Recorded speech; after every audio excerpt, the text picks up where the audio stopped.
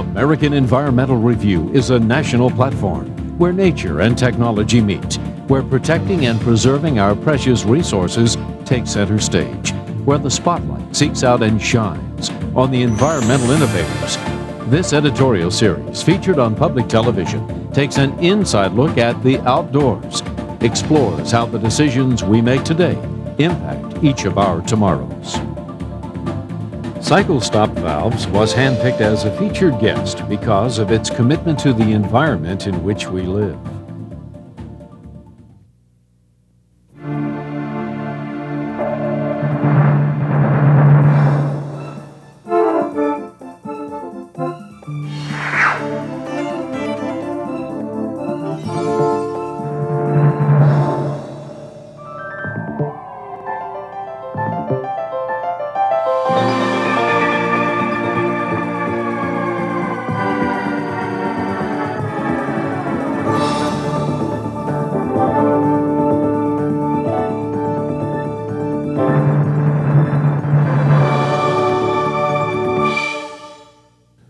Hello, I'm Morley Safer. Technology plays a role in just about every facet of our lives. What you're about to see are some examples of the many ways technology can be used to help care for the world in which we live. Population growth, development, and environmental contaminants have all had a harmful impact on our fresh water. This has led to decreased supply, increased restrictions, and new ways to regulate flow. Well, there's several ways to control water. Most commonly is uh, mechanical pressure switches. Uh, there's on-off switches, liquid level control switches, variable frequency drives, and pressure regulating valves. Techniques like these are used to reduce waste in irrigation and municipal systems. To obtain high water efficiency, it is important to have flow control in an irrigation system to precisely provide water as the crop exactly needs. But as flow rates vary, they can cause problems for many of these systems. They cycle, they kick on and off constantly when pumps are being used. This shortens the life of the system.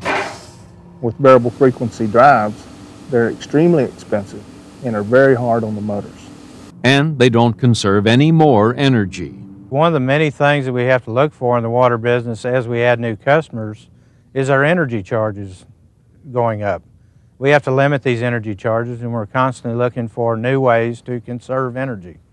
The search to reduce power consumption and maintain optimum flow has led to a mechanical approach.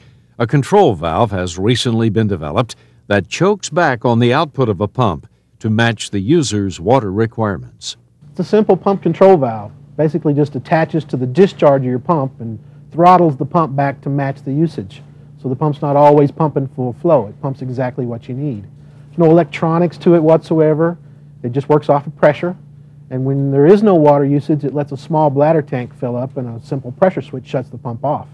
What the cycle valve has allowed us to do is stop pumps from coming on and off, which saves you on your energy charges.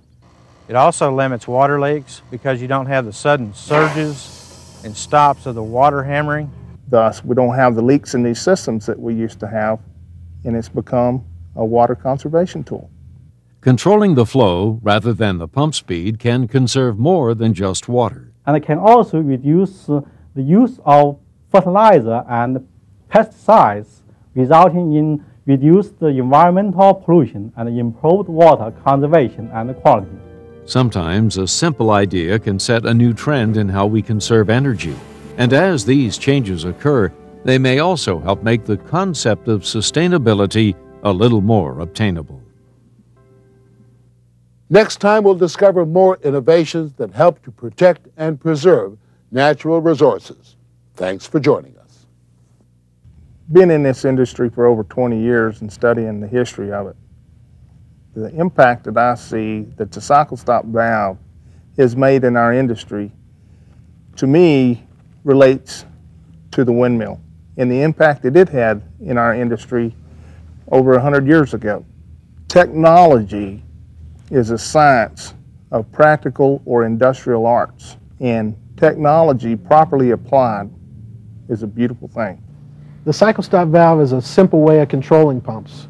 Unlike uh, big water towers and variable speed drives and all kinds of electronics equipment that makes a pump run, it's a simple mechanical valve that only cares about the pressure and the water that you're getting.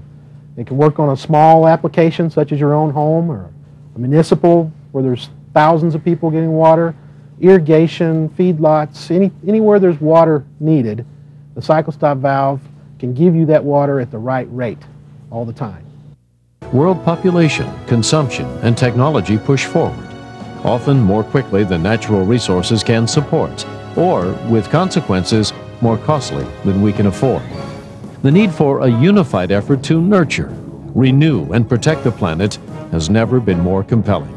Therefore, once again, American Environmental Review extends a special thanks to the companies and organizations that have risen to meet today's environmental challenges.